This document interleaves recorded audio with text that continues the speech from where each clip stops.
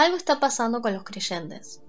Una de las cosas que más afecta a las sociedades modernas es el miedo en primer lugar y la necesidad de anestesiarse en el segundo. El miedo suele ser a lo desconocido, en especial a la muerte, porque ninguno de nosotros la experimentó como para decir que se siente. Podemos hablar, sí, de experiencias cercanas a la muerte, pero no de haber muerto, de haber sido enterrados y de haber pasado unas semanas y luego volver para decir cómo fue. La muerte, sin lugar a dudas, es algo que atemoriza a muchos y que hace que la gente se obsesione con no morir, y que se obsesione con su salud, con mantenerse joven, con cuidar sus dietas, con aprovechar al máximo y vivir bajo ese viejo dicho de Picuro que dice, comamos y bebamos que mañana moriremos. Frase por la que todos suponen que Epicuro era un filósofo que solo predicaba los placeres terrenales, pero en realidad Epicuro lo que predicaba era el anestesiarse, y de hecho tenía una concepción bastante acertada sobre la muerte, ya que sostenía que la muerte no es más que una quimera, ya que cuando uno existe la muerte no y cuando la muerte existe uno ya no. Por eso consideraba inútil preocuparse por esta. Pero claro, esa es una muestra clarísima de que lo que buscaba era anestesiarse, o sea, no pensar en la muerte y dedicarse a vivir. Epicuro tampoco vivía en un mundo hipertecnologizado como el que tenemos nosotros, en el que vemos noticias tristes todos los días, vemos muerte todos los días y su vida, al igual que la de muchos de hoy, se basaba en evitar el sufrimiento a toda costa buscando con qué llenar ese vacío. Y vaya si eso no nos pasa muchas veces y si no le pasa a muchos cristianos. Evitar pensar en aquello que nos pueda llevar a sentir dolor. Esa es la estrategia que usaba Epicuro y sus seguidores y que hoy muchos utilizan. Eh,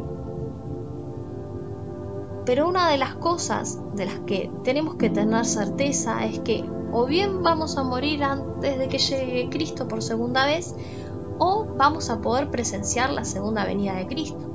En Hebreos capítulo 9, versículo 27 dice, y de la manera que está establecido para los hombres que mueran una sola vez y después de esto el juicio. Ahora bien, anestesiarse y hacerse el distraído hasta morir o que llegue Cristo, ¿es buena estrategia? Epicuro, a pesar de no conocer a Dios, tenía razón. ¿Seguimos la filosofía hedonista de buscar el placer y evitar a toda costa el dolor y el sufrimiento? ¿O nos resignamos a sufrir e incluso buscamos sufrir como reparación a nuestros pecados, realizando pequeños martirios diarios como ofrenda a Dios? Bueno, ni lo uno ni lo otro. Nos tenemos que guiar por lo que dice Mateo capítulo 22 versículos 36 a 40. Maestro, ¿cuál es el gran mandamiento en la ley? Jesús le dijo, amarás al Señor tu Dios con todo tu corazón y con toda tu alma y con toda tu mente. Este es el primero y grande mandamiento, y el segundo es semejante, amarás a tu prójimo como a ti mismo. De estos dos mandamientos depende toda la ley y los profetas. Con esto tenemos que nuestro fuego debe ser Dios en primer lugar y luego nuestro prójimo. No debemos evitar sufrir dentro de lo que hace a lo racional, ni tampoco debemos buscar sufrir de manera innecesaria. De hecho, existe una práctica muy interesante que es ofrecerle a Dios no solo nuestras acciones diarias, sino también nuestro sufrimiento. Por eso, si estás sufriendo por algo, ofrécele a Dios ese sufrimiento para que Él lo canalice de la mejor forma posible y de esa manera vas a poder tener la certeza de que tu sufrimiento no es en vano. Ahora bien, ¿por qué a pesar de ser creyentes hay algunos que buscan anestesiarse al dolor y hacen cualquier cosa para solo sentir placer? Bien, en 2 de Timoteo capítulo 3 versículos 1 al 5 dice, También debes saber esto, que en los postreros días vendrán tiempos peligrosos, porque habrá hombres amadores de sí mismos, avaros, vanagloriosos, soberbios, blasfemos, desobedientes a los padres, ingratos, impíos, sin afecto natural, implacables, calumniadores, intemperantes, crueles, aborrecedores de lo bueno, traidores, impetuosos, infatuados, amadores de los deleites más que de Dios, que tendrán apariencia de piedad, pero negarán la eficacia de ella, a estos evita. La lista que hace segunda de Timoteo es crucial, ya que nos muestra cuáles son las tentaciones más severas de los últimos tiempos, y su propósito es advertirnos sobre la clase de personas de las que debemos alejarnos y también la clase de cosas que debemos evitar cometer examinarnos a nosotros mismos para ver con qué frecuencia hemos cometido algunas de estas cosas y analizar si no se pueden volver un pecado recurrente. Algunas de estas cosas, claro, son más riesgosas que otras, ya que el enemigo tiene como táctica el empezar con cosas sutiles que aparentemente vienen de nosotros mismos. Por ejemplo, el amor a uno mismo, que tomado en el sentido natural no es malo, pero que poco a poco puede volverse una obsesión y terminar ocupando la totalidad de nuestros corazones. Y de hecho, ¿cuántos cristianos lamentablemente caen en esto? Hay iglesias que parecen centros de belleza, donde solo se habla del tratamiento de mejora de pelo, de la piel, de las cirugías estéticas, donde la gente en vez de usar el tiempo previo al comienzo de la ceremonia religiosa para orar, pedirle al Espíritu Santo para que sus corazones tengan buena predisposición a escuchar el mensaje, lo usan para intercambiar secretos de belleza o simplemente para contar chismes. De esta forma se evaden de lo que parece una responsabilidad, una carga, ir a la iglesia, y cuando llega el momento de escuchar el mensaje no pueden dejar de pensar en el aceite para el cabello, el tratamiento para la piel, que fulanita de tal se peleó con el marido, que seguro es culpa de otra persona, y así comenzamos a anestesiarnos y a evadirnos de la realidad y a buscar excusas para nuestras conductas. Por ejemplo, hago tal cosa porque si yo no tengo respeto por mí misma, menos podré tener respeto por los demás. Si yo no empiezo por cuidarme, menos voy a poder cuidar a los demás. Por eso el amor a uno mismo puede ser muy engañoso, cuando pasa a ser una obsesión, y ahí comienza a ponerse en marcha la advertencia que se nos hace en segunda de Timoteo. Una cosa es hacer una determinada terapia por un tema de salud y otra pasar las 24 horas haciendo cosas para mejorar nuestra apariencia y vivir pensando en nosotros mismos. Porque es ahí cuando comenzamos a desplazar a Dios para ponernos en su lugar. Amarse uno mismo, tal y como nos dicen los libros de autoayuda, lleva a ponernos en lugar de Dios y a dar paso a lo que viene con ello, la avaricia, la vanagloria, la soberbia, la blasfemia, etc. Pero todas estas cosas siempre están recubiertas de un manto de bondad, porque nuevamente el mal es inteligente, la serpiente es astuta, no va a ir por la vida diciendo estoy haciendo tal cosa para perjudicarte, para hacer que que te pierdas, sino que va a tratar de cubrirlo todo con apariencia de bien, ya que el diablo es el padre de las mentiras.